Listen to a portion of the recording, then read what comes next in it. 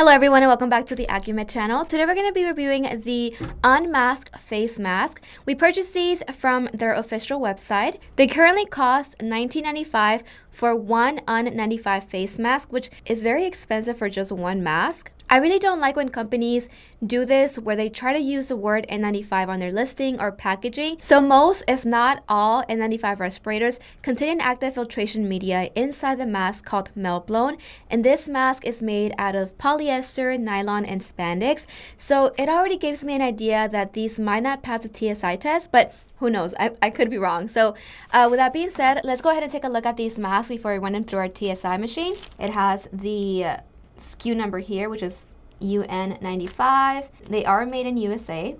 And this is how it looks.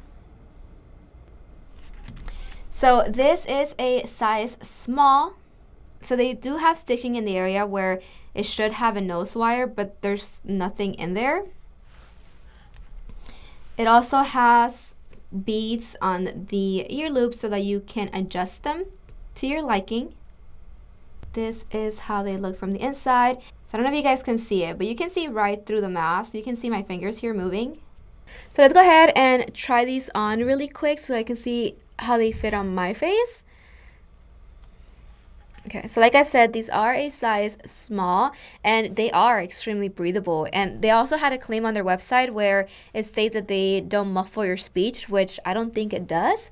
Um, they are very comfortable it feels kind of like you're wearing a jersey over your face. I am definitely getting some leakage over here, but it's because it doesn't have a nose wire, so there's no way for me to really adjust the seal. So with that being said, let's go ahead and see how these test on our TSI machine. We're going to be testing both the filtration efficiency and pressure drop.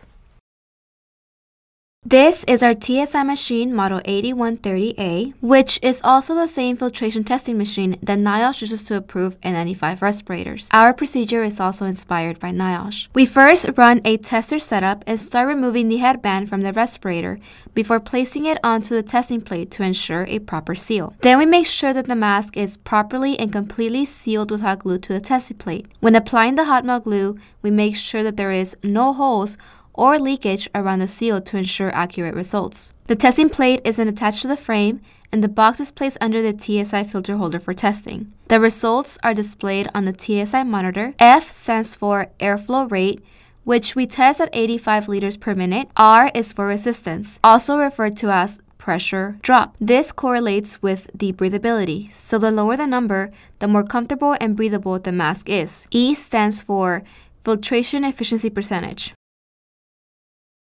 The sample had a filtration efficiency percentage of 14.64% and a pressure drop of 0.03 millimeters of water. So we're back now, and as you guys saw from the TSI test results, these masks are the lowest pressure drop that we've seen so far, which means that these are extremely breathable. However, they are so breathable that they won't protect you not even 15% of the particle filtration. So unfortunately, these are not a mask that we recommend. You definitely can find yourself a pack of legit K95 or N95s within that price range, and you know that they're going to be protecting you so much more than these. So we have tested a lot of great options and you can view all of the results on our website, which is accumed.com. And I will also be leaving a link in the description box down below, along with our address if you would like to send in a mask or re respirator for us to test. So I really hope that you guys found this video helpful. Please don't forget to like, comment, and subscribe, and I'll see you guys in our next video.